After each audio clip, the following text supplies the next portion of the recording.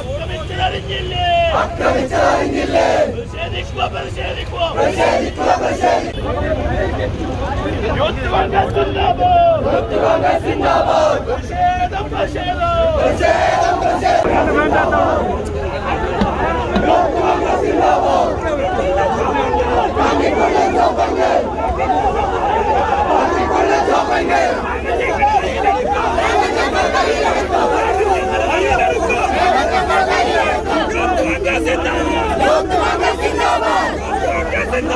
ഇതാണ് കേരളത്തിലെ ഇന്നത്തെ അവസ്ഥ. എങ്ങും പ്രതിഷേധം. കേരളത്തിന്റെ അങ്ങോളമിങ്ങോളം ദേശീയപാത ഉപരോധിച്ചാണ് യൂത്ത് കോൺഗ്രസ് പ്രവർത്തകർ പ്രതിഷേധം നടത്തുന്നത്. മുഖ്യമന്ത്രിക്കെതിരെ കടൽ പോലെ ഇളകി മറിയുകയാണ് കോൺഗ്രസ് പ്രവർത്തകർ. കഴിഞ്ഞ ദിവസം ബഫർ സോൺ വിഷയത്തിൽ എസ് എഫ് ഐ നടത്തിയ പ്രതിഷേധ മാർച്ചാണ് അക്രമാസക്തമായത്. വയനാട്ടിലെ രാഹുൽ ഗാന്ധിയുടെ പാർട്ടി ഓഫീസ് തല്ലി തകർത്താണ് എസ് എഫ് ഐ പകരം വീട്ടിയത്. പക്ഷേ ഈ അക്രമം കേരളത്തിലെ കോൺഗ്രസ് പ്രവർത്തകർ മുഴുവനും ഏറ്റെടുത്തിരിക്കുകയാണ്. ദിവസവും പ്രതിഷേധങ്ങളും ആരോപണങ്ങളും ഒക്കെയായി കേരള രാഷ്ട്രീയത്തിന് ഒരു ഒഴിവുമില്ല.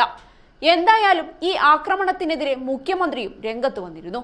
ഇത്തരം അതിക്രമത്തിലേക്ക് കടക്കുന്നത് തെറ്റായ പ്രവണതയാണെന്ന് വ്യക്തമാക്കി മുഖ്യമന്ത്രി പിണറായി വിജയൻ രംഗത്തെത്തി. സംഭവത്തിൽ കുറ്റക്കാരായ എസ് എഫ് ഐ പ്രവർത്തകർക്കെതിരെ ശക്തമായ നടപടി സർക്കാർ സ്വീകരിക്കുമെന്നും ജനാധിപത്യ രീതിയിലുള്ള പ്രതിഷേധങ്ങൾക്കും അഭിപ്രായ പ്രകടനങ്ങൾക്കും സ്വാതന്ത്ര്യമുള്ള നാടാണ് കേരളമെന്നും മുഖ്യമന്ത്രി വ്യക്തമാക്കി. അതിക്രമത്തെ ശക്തമായി അപലപിക്കുന്നുവെന്നും അദ്ദേഹം പറഞ്ഞിരുന്നു. അല്ലെങ്കിലും കേരളത്തിൽ പ്രശ്നം എത്രത്തോളം വഷളാക്കാമെന്ന് ചിന്തിച്ചു നടക്കുകയാണ് ഓരോ പാർട്ടികളും.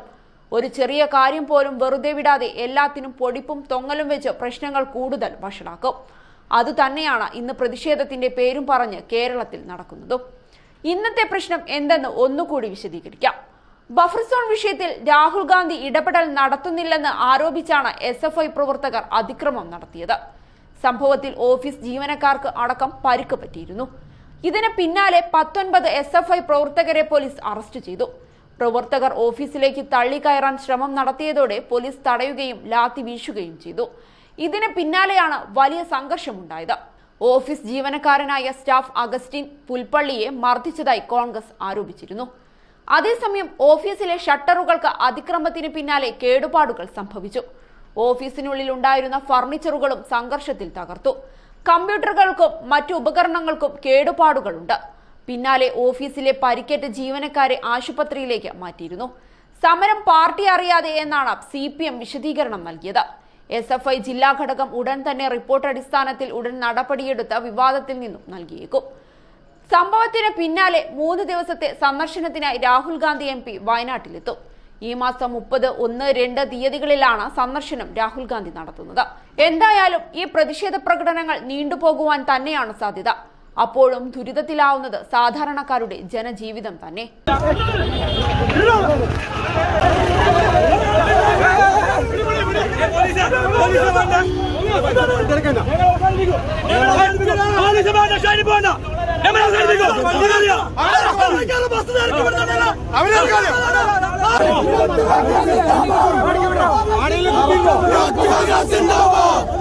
രാഹുൽ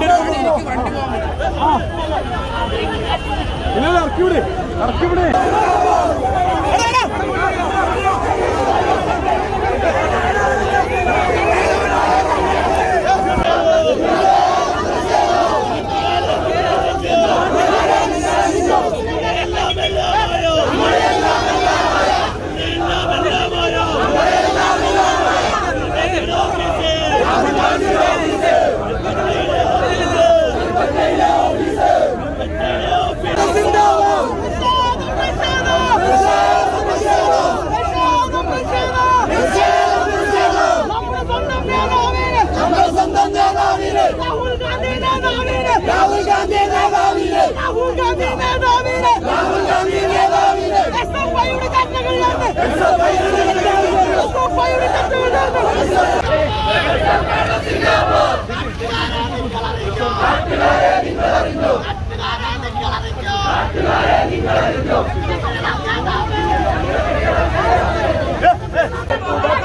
പ്രതിഷേധം പ്രതിഷേധം പ്രതിഷേധം സിന്ദാബാദ് യേശുവിൻ പ്രതിഷേധം യേശുവിൻ പ്രതിഷേധം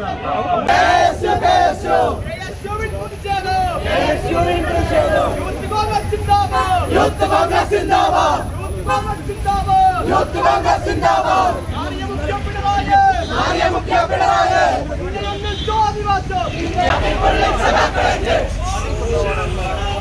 ഓ പുല്ലേ